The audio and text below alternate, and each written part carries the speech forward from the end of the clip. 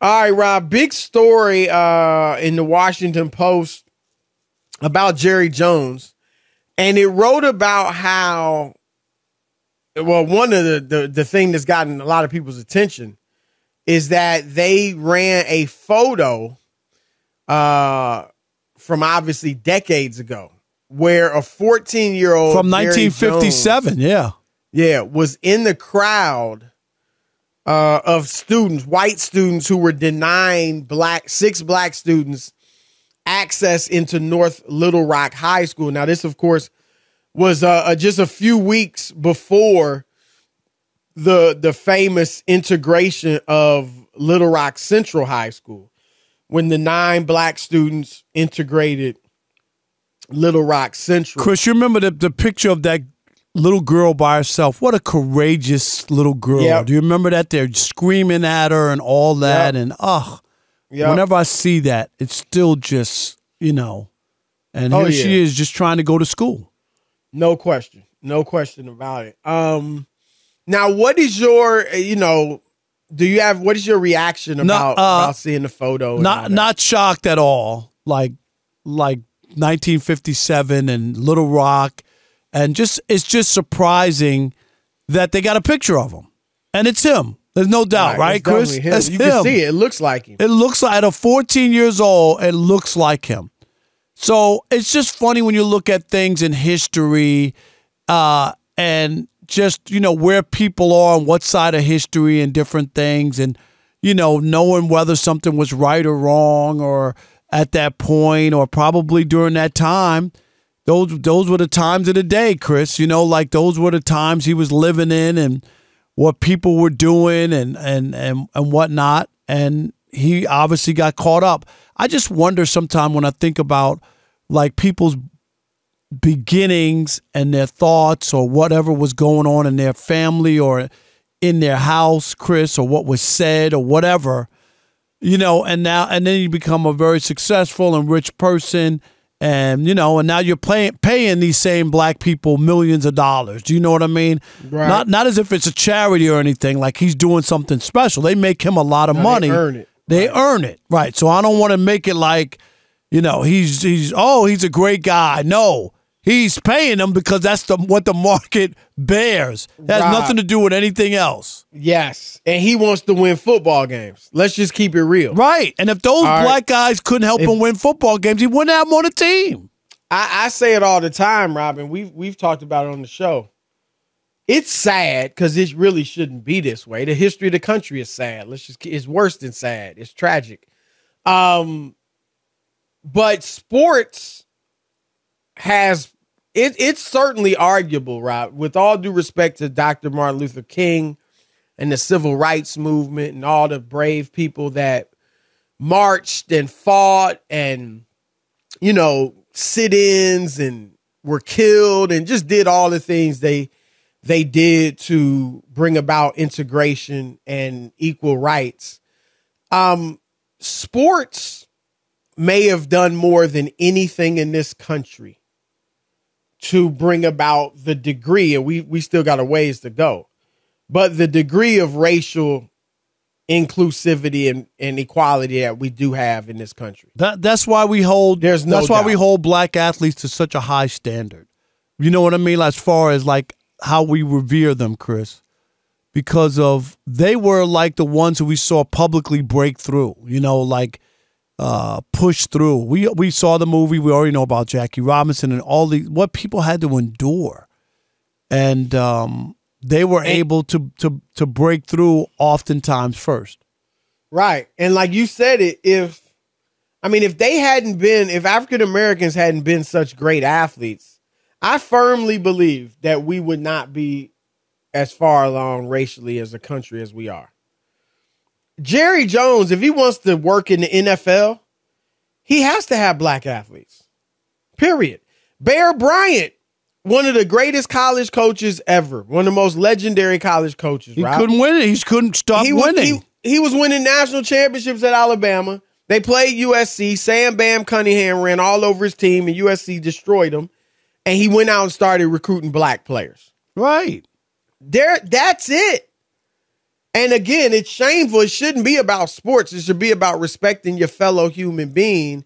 We all created in the image of God, regardless of your race, your ethnicity, your nationality.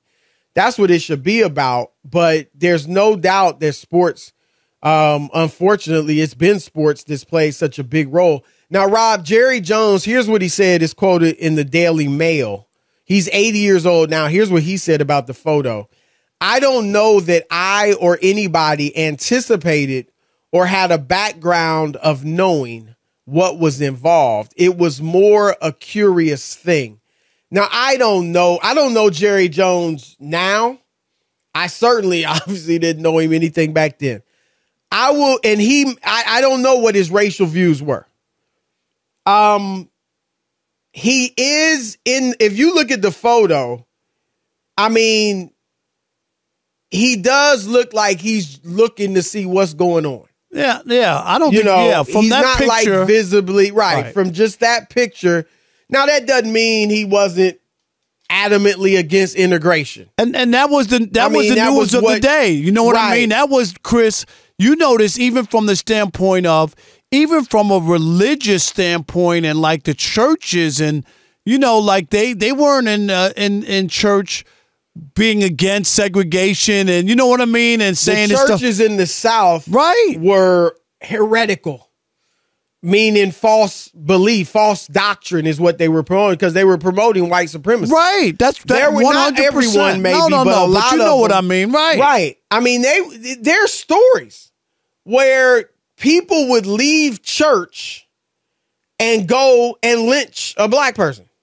Stories like the people would, as in a mob, leave the church excitedly to go to a lynching. Those are that's in books. And so it really wasn't Christianity that was being taught, it was white supremacy more than Christianity.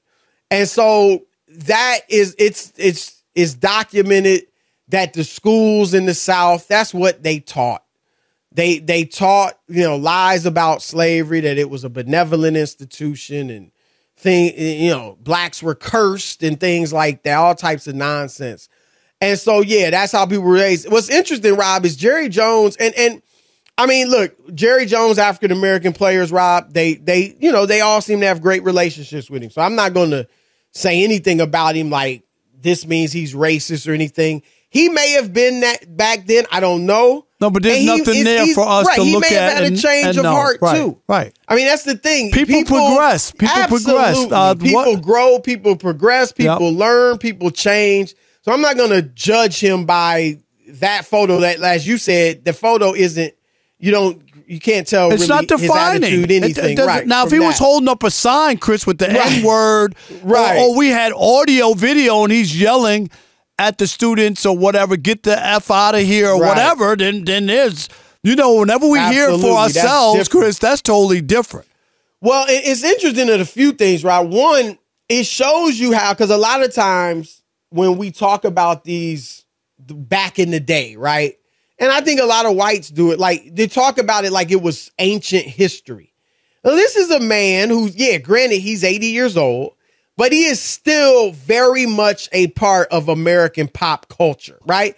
He is an influential American, and there are many who are younger than him who may have had racist attitudes or grew up in this type of environment. And you know what, that are still up they're hiring people Yes. or not hiring people.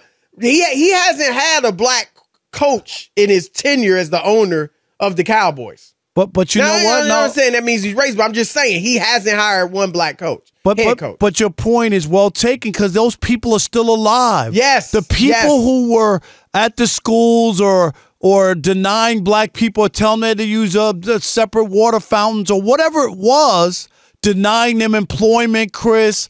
Right. Uh, uh, uh, yeah, because you know, that's the thing. like- there like were tho- people they're not they're not all dead. They're, they're still alive. They're Yes, still alive. Those people are alive, and you just said it. He's he's he's a big time big shot who influences a lot of people. So Right. so and, and that's why I really believe, you know, in about I don't know. 20 years, 30 years, whatever, at some point that that generation and those people who lived through those moments won't be around anymore. Well, they won't. No, I know, but I'm just Right. saying, but they are still here. Yeah. Um, yeah, it, it's interesting, and um, you know, I always, Rob, we've seen pictures of blacks who were lynched and things like that. Those those are horrific. Some of them, those are horrific absolutely. pictures, and, and, and when you see them, Rob, sometimes the people around them, the whites, are standing there like they're holding up a trout that they caught in the ocean. You know what I mean? Like it's a sport. And there are, and in some of these photos, whether it's a lynching or it was the students trying to integrate the school, you see women, white women, older, young, whatever, yelling at the top of their lungs, vitriol, right? Somebody that you would look at and think that's just a nice person, nice young citizen.